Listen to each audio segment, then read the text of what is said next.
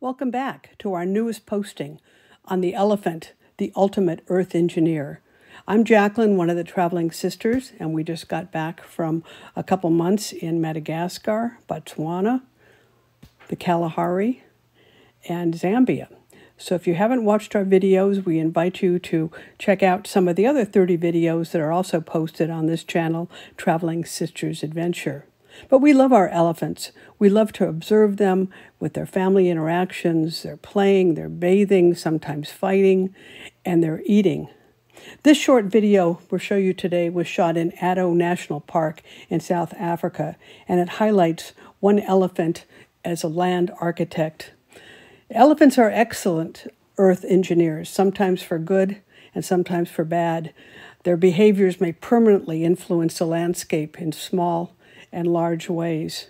They can push over trees to feed on the high branches. They can peel segments of bark off the trees to eat.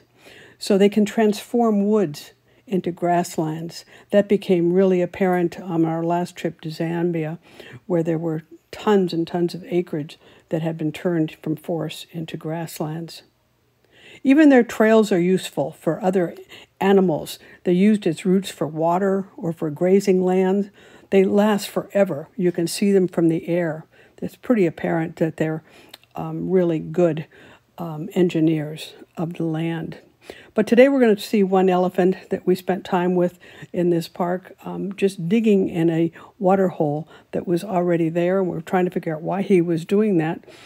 Um, they're digging uh, for water, like in the desert. They will dig pretty deep to um, look for springs in order to um, find the water, but they also do it for minerals. And we figured this is what this fellow might have been doing. Um, the minerals they ingest, they need for their digestion and for their health. But when they dig, they change the geography for all. Their digging also helps with stirring up some of the mud that they place on their skin or water that they spray on their body to protect against insects and also the sun. Another reason they might dig is just for fun. It feels good. They don't have computers, iPads, cell phones, so what else do they do for the day? So, what do you think? Why are these elephants digging?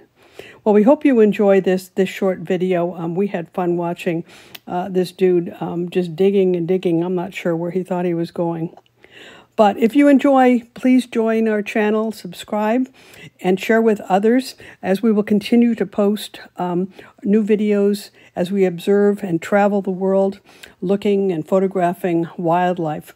We're going to try to post every every week, maybe on a Tuesday. Um, we've got lots of videos to share from our recent trip as well as uh, previous trips. So uh, please subscribe, join us, and we'll hope to see you next week. Thanks again for listening. Enjoy.